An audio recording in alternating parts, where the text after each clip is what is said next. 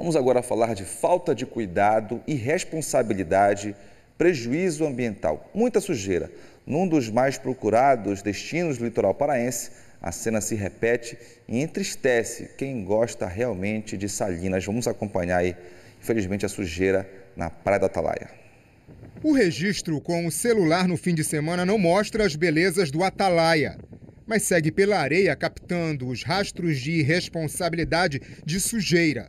São dezenas de garrafas de vidro, embalagens plásticas, lixo.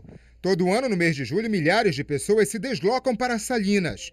Vão em busca principalmente das praias. Mas o que fica tem deixado um exemplo da falta de cuidado com o meio ambiente. Estas outras imagens, também captadas por banistas, foram feitas em julho do ano passado. Muita sujeira deixada para trás e arrastada pela maré, causando inúmeras consequências à saúde humana e ao meio ambiente. A partir do momento que aquele material fragmenta na praia, como plástico, vão ser formados microplásticos que espécies bem menores espécies que vivem dentro da areia, como caranguejos, por exemplo, ou então peixes na parte da praia, vão ingerir, uma vez que o plástico ele é um material derivado do petróleo e altamente tóxico durante a sua produção. Pescadores que, que se alimentam disso de forma de subsistência, né?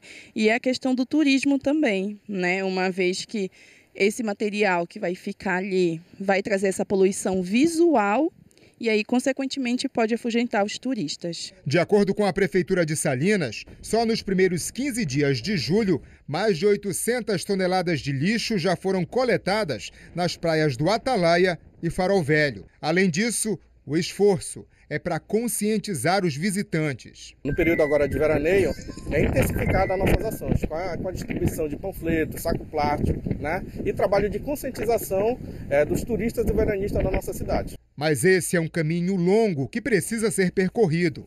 Na mesma praia existe uma área protegida para a desova e reprodução das tartarugas marinhas. O lixo deixado por toda a extensão da areia pode causar impactos na preservação da espécie.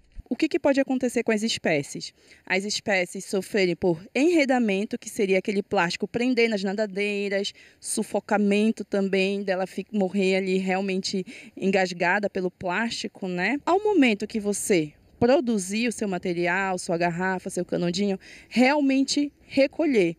Seja levando ele dentro do carro, ou levar sua sacolinha, ou até mesmo cobrar dos barraqueiros que recolham esse material.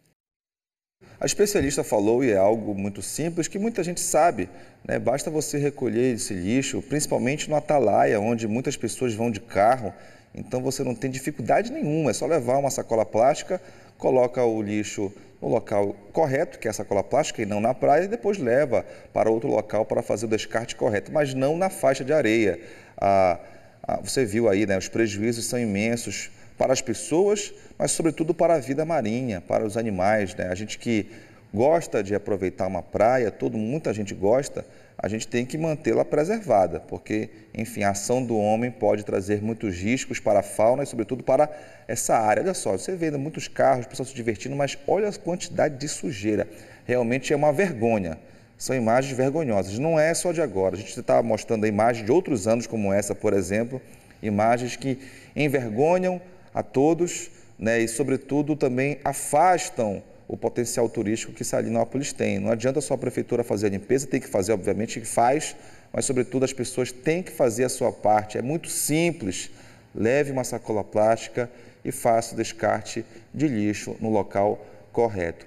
E lembrando que, de acordo com a lei, quem causa poluição de qualquer natureza e que afete a saúde humana ou animal comete crime e pode até ser preso por isso. Se culposamente, a pena varia de três meses a um ano, mas se for comprovado dolo, ou seja, a intenção de praticar o crime, a pena aumenta, pode chegar até cinco anos de prisão. Então, nesse caso, é importante que haja também, claro, uma fiscalização efetiva para evitar essa situação, que não acontece só no Atalé. Está com as imagens do Atalé, foi imagem que chegaram aqui à nossa redação.